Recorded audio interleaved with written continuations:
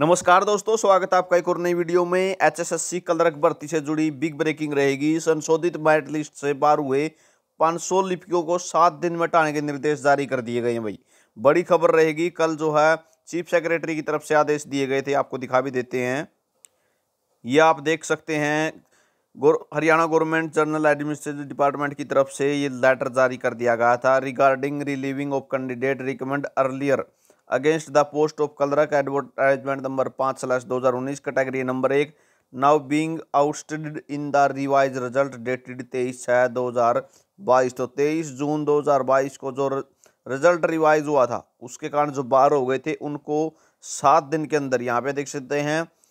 Relieving of such ousted candidate within seven day, chief secretary government of Haryana की तरफ़ से letter जारी कर दिया गया था कल ही।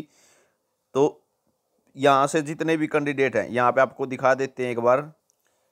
तो यहाँ पे आप देख सकते हैं 500 कैंडिडेट रहेंगे जो अभी भी नौकरी कर रहे थे।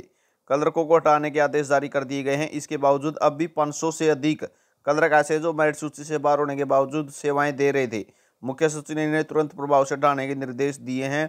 साथ में साढ़े छः सौ कलरक ऐसे भी हैं, जो डॉक्यूमेंट वेरिफिकेशन पर ही नहीं पहुँचे थे। ठीक है दस्तावेज़ जाँच को को नहीं पहुँचे छः सौ पचास कलरक न जाएगी नौकरी। वर्ष 2019 में की गई थी भर्ती, भेजे जाएँगे नोटिस। तो छः सौ पचास कैंडिडेट ऐसे भी हैं जो डॉक्यूमेंट वेरिफिकेशन पर ही नहीं पहुँचे थे तो उनको भी अब लास्ट मौका दे के नोटिस दे के जो है, सीटों को खाली कर दिया जाएगा। इनकी परीक्षा में तीन प्रश्नों पर आपत्ति आई थी और वह ठीक न कर परिणाम जारी कर दिया जाए। हाई कोर्ट के आदेश पर जो है, फिर परिणाम जारी किया गया था, जिसके करीब 950 कलरक प्रभावित हुए। कोर्ट के आदेश पर चयनितों के दस्तावेज़ जांचे गए, जिनमें से नियुक्ति पा चुके छः सौ पचास कलरक नहीं पहुँचे।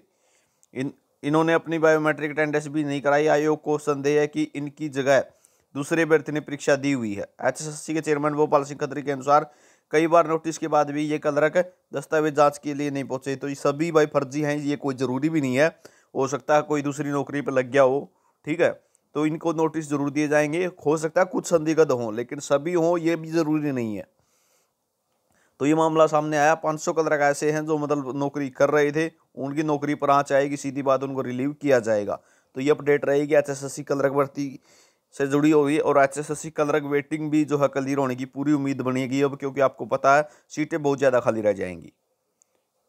नए कैंडिडेट सेलेक्ट किए हैं, लेकिन अब जो है कलरक वेटिंग का मुद्दा ज़रूर गरमाने लग जाएगा, क्योंकि जो ठंडे बस्ते में था, अब वो जितनी भी सीटें अगर ये तो पाँच सौ तो चलो मान के चलो, ये पाँच सौ जो रिलीव होंगे। इनकी जगह तो जो नए एडजस्ट होने हैं, वो हो जाएँगे।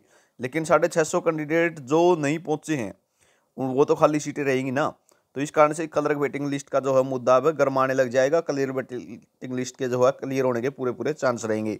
वीडियो आपने देखी, इसके लिए बहुत बहुत धन्यवाद। हर अपडेट आपके लिए देकर आते रहेंगे। इसकी के दस सात आपका दिन शुभ हो।